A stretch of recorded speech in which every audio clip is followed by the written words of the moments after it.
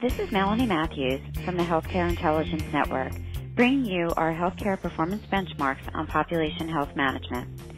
Population health management, or PHM, is fast becoming the new buzzword for the management, integration, and measurement of all health programs offered by an organization. It's a rapidly growing shift in healthcare as the industry moves away from rewarding quantity over quality and volume over value and toward health management across the risk continuum. As we discovered in HIN's first population health management survey conducted in September 2012, more than half of respondents has a PHM program in place. Case managers are the most crucial elements of an effective PHM team, reported 64% of respondents, slightly edging out primary care providers, 60%, and health coaches, 55%. The use of the telephone to communicate program details was considered the primary tool by 85% of respondents.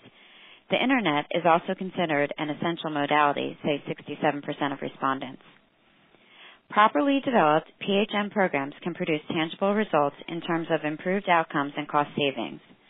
Patricia Curran, principal in Buck Consultants National Clinical Practice, suggests key preparations for organizations contemplating a shift to PHM. The most important thing is for an industry or a population that's going to move in that direction is to really learn about the population, to undertake some significant research to identify what the population's needs are. What's the culture?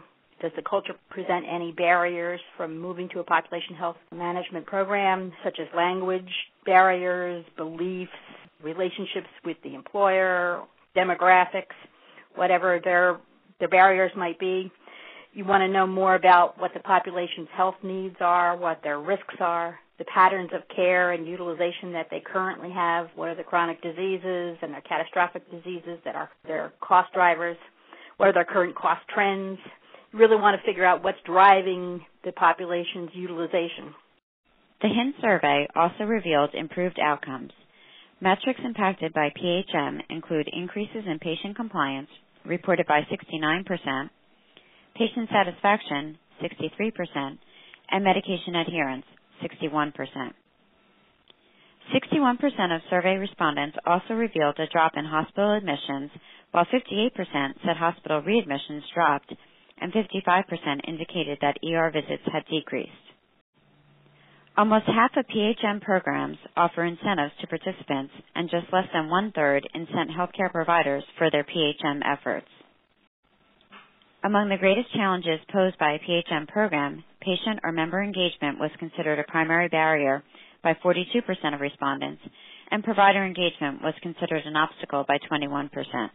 For more data from this survey and a host of resources on population health management, including our free Population Health Monitor e-newsletter, please call HIN toll free at 888-446-3530 or visit us on the web at store.hin.com.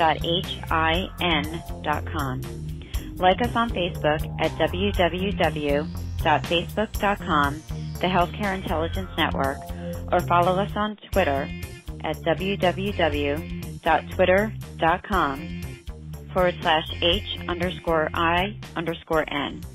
This is Melanie Matthews from the Healthcare Intelligence Network.